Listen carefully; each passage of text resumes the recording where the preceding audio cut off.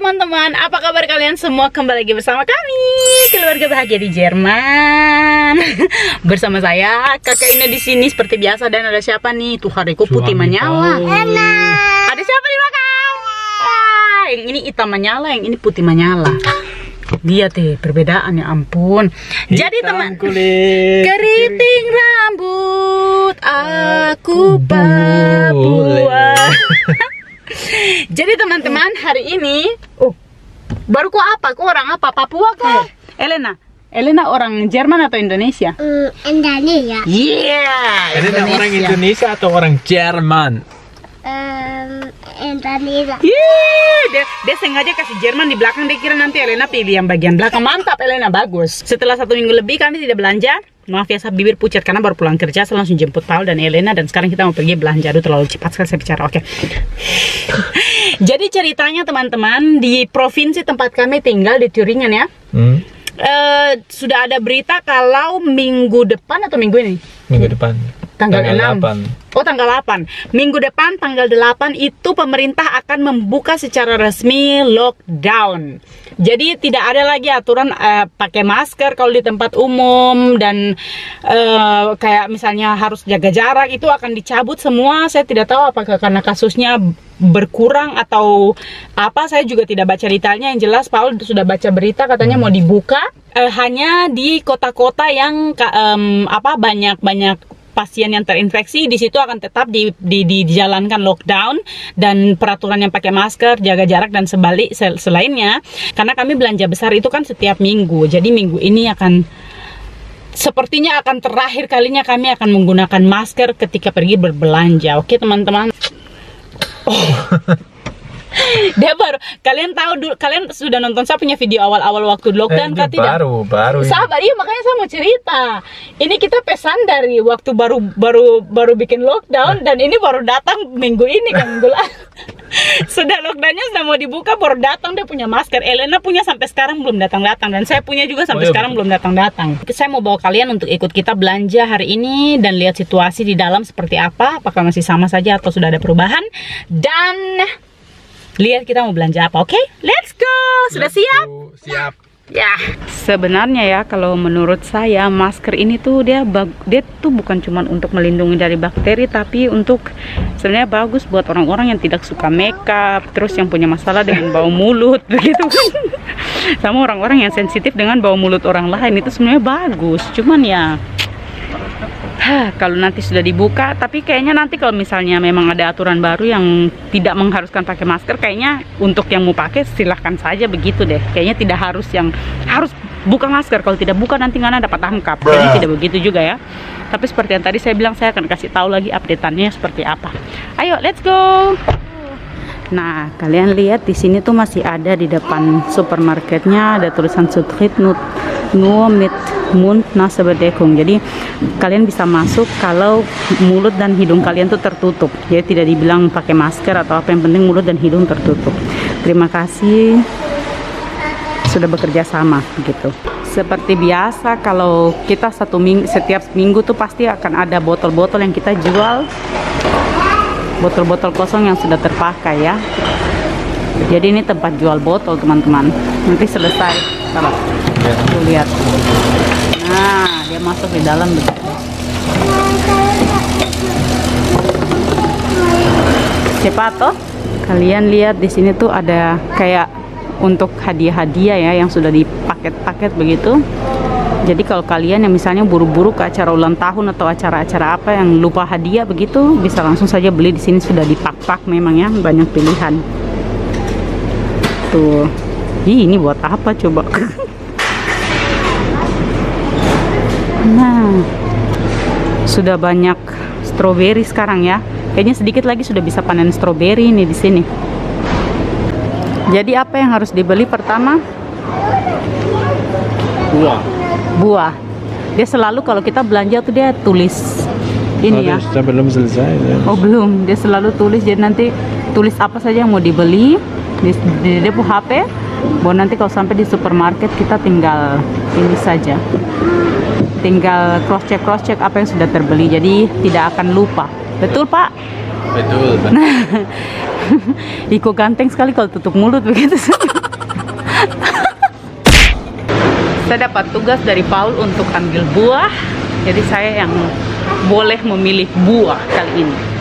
Seperti biasa di sini kalau kita mau beli buah kita tuh diharuskan pakai sarung tangan dan sarung tangannya tuh sudah disiapkan di sini.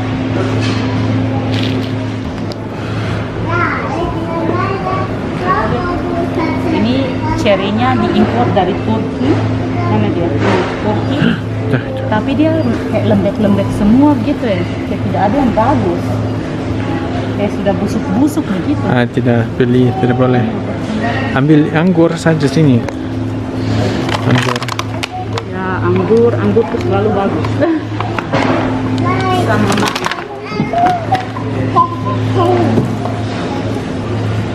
mangga juga nih kayak mangga busuk-busuk kan jual semua di balayu lain. Ini mangga.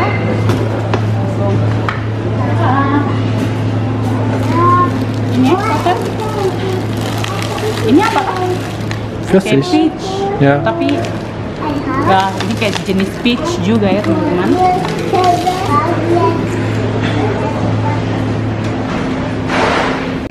Sparkle ya.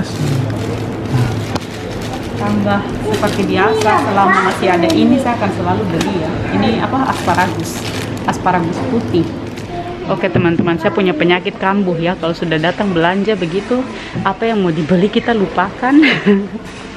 Nanti yang tidak ada rencana kita belikan malah kita perhatikan. Jadi sekarang fokus ke tujuan, fokus ke kena fokus. Fokus Paul. Ini juga dia bawa-bawa jalan belok-belok nih.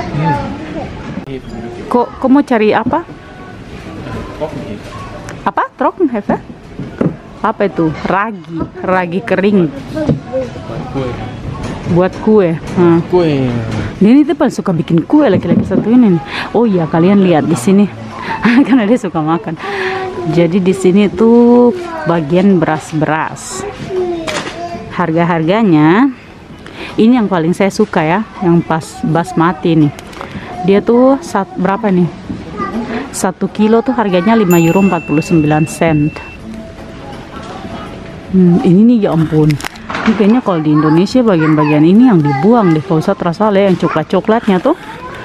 Tuh harganya 2 euro 99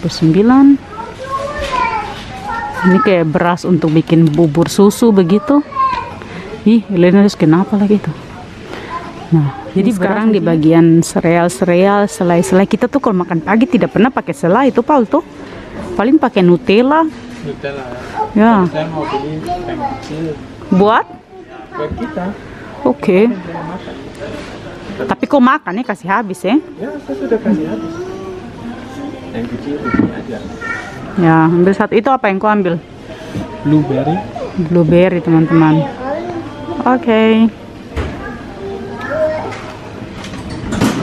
Ya. Uh teman-teman kebetulan. Untung saya ingat ya. Saya lupa tulis tapi saya punya teh kesukaan ini. Sudah habis. Jadi untung saya lihat dia saya lihat dia tuh langsung kayak saya punya jantung berdebar-debar ternyata karena memang saya punya habis. Tuh. Nah kita sekarang di bagian daging-daging. Kalau dia mau beli daging sapi. Kita pasti kalau belanja mingguan dagingnya tuh kita beli untuk stok dua hari saja ya. Karena kita punya kulkas juga tidak terlalu besar jadi kalau mau beli semua nanti mau taruh di mana tuh? Eh eh eh. Ini anak ini bikin apa ini? Duduk eh ini buat part barbekyuan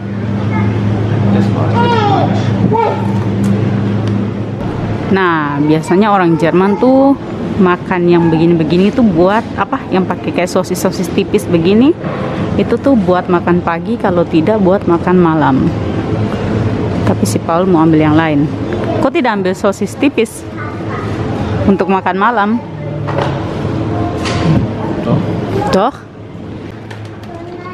Tadi buka baru aku?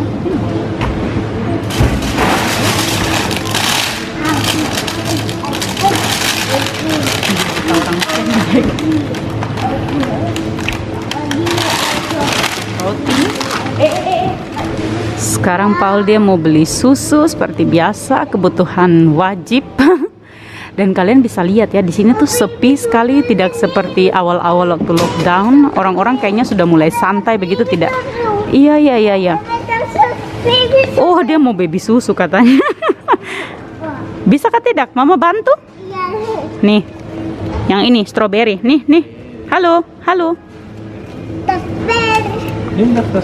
So, nih satu saja, satu saja.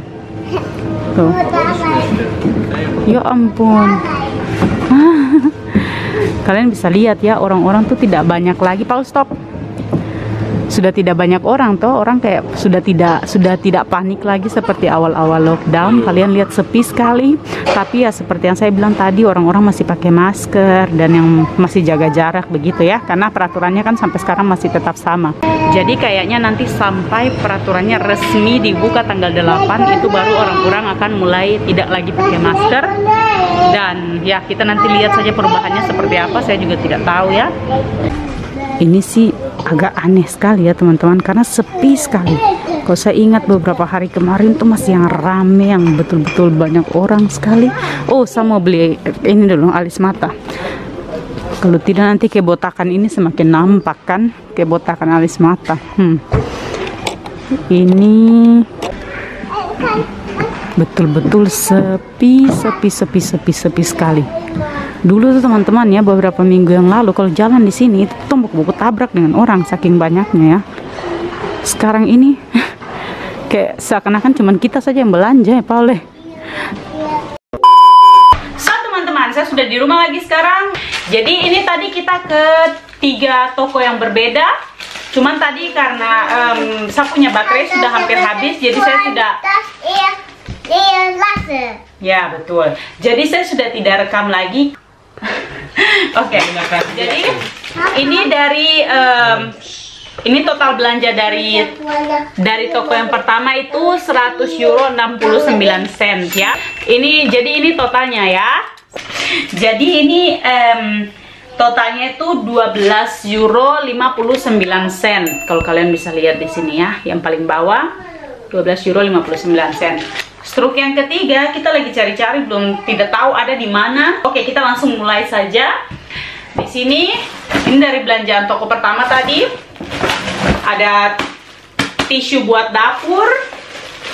Terus ini kayak makanan instan buat bubur susu begitu. Terus yogurt, yogurt, yogurt buat Elena. Dua pak eh, roti untuk makan pagi. 884 gram daging sapi. Mokado ini kayak kalau di Indonesia kita punya poki kalau tidak salah. Ini susu coklat, tidak tahu tadi Paul dia minta beli. Ini ada dua pak sosis begitu. Ini sosis buat makan malam, yogurt lagi, selai buat makan pagi, selai blueberry. 550 gram ayam yang sudah dimarinate atau marinade 1 kilo tepung gandum 500 gram makaroni. Ini juga buat bikin spaghetti dia kayak di dalamnya ini sosis ya. Sosis buat digoreng begitu. Ini tidak boleh bilang kuat-kuat kalau saya bilang kuat nanti bisa-bisa dia muncul lagi nih. Dia punya permen begitu ya Haribo. Sosis ini Elena punya susu strawberry. Oh ini buat cukur-cukur. Apa namanya? Busa-busa buat cukur-cukur itu ya. Saya tahu dia nama apa? Nah ini saya baru mau coba. Ini apa namanya? Deodoran buat saya. Ini dua butter mentega untuk makan pagi ya. Ini mentega yang tidak ada rasanya yang tidak tidak asin. Ini 720 gram bubur apel 500 gram margarin terus ada yogurt jus jus jeruk jus apel 3 liter susu teman-teman. Nah ini kesukaan saya. Ada 4 gel apa 4 botol. Ini namanya em, bir anak-anak ya. Jadi, ini tuh dia kayak karamel saja gitu minuman karamel dari gandum ya. Dia manis enak tidak beralkohol sama sekali. Ada teh. Saat ini dia tuh teh kesukaannya saya. Ada snack. Ada 10 telur ayam kampung ini 500 gram buah peach yang kayak begini ya saya tidak tahu ini jenisnya apa pokoknya yang jelas dia salah satu jenis buah peach sayur kesukaan saya asparagus putih satu buah mangga dari bakery tadi roti dan di sini yang terakhir ada 1 2 3 6 botol air ya. Kakak ini Oke. kuat sekali ya. Kuat sekali. Ah! Dan yang terakhir saya tadi beli ini. Saya punya pensil alis ya. Kita beranjak ke toko yang kedua. Tadi saya cuma beli ini bra sama Elena punya celana. Mana dia celana dua sini? sama Elena punya celana pendek dua ya dan yang toko ketiga tadi saya cuma beli bahan-bahan untuk nanti parodi ya teman-teman sebanyak ini anting-anting harganya tuh cuma 2 euro ya ini buat taruh-taruh kayak surat-surat atau mungkin koran atau majalah begitu ya. Dan ini Paul dia beli mangkok-mangkok. Ini juga kayak mangkok untuk sup begitu teman-teman. Harganya juga sangat murah. Ini juga saya beli bulu mata palsu buat keperluan video pastinya ya. Sama wig. Dan ini yang terakhir juga buat taruh barang-barang yang di atas kita punya rak sepatu supaya agak kelihatan rapi saja topi-topi apa segala macam yang berserakan di atas itu oke Terima kasih buat kalian semua yang sudah nonton video ini. Semoga kalian suka dengan videonya seperti biasa. Dan kita ketemu lagi di next video. Bye-bye!